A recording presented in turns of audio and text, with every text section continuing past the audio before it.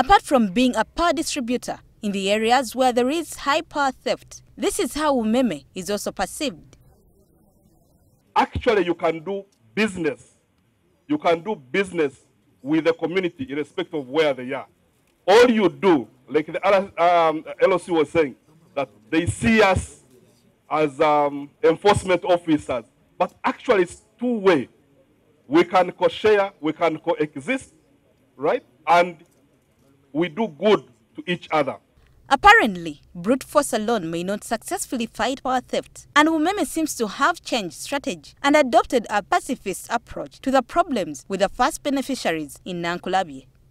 Therefore, us choosing to address security through using our core competence of lighting, empowering the community through skilling and bringing partners who can pass skills, and a future date possibly through government programs which can provide equipment, tailoring machines, welding machines, you know, we can jointly spark a revolution for developing Uganda while addressing the government agenda. So after making your money, and not only the money, but even the valuables you have to sell, when you're carrying them in your bag back home, you are now secure. You have the light. You have the guarantee that when people are along the roads, they can see you.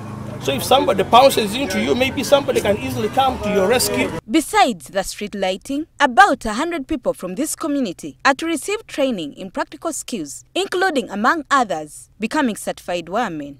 This is a pilot that is expected to be replicated elsewhere. Rachel Nabisubi, NTV Business.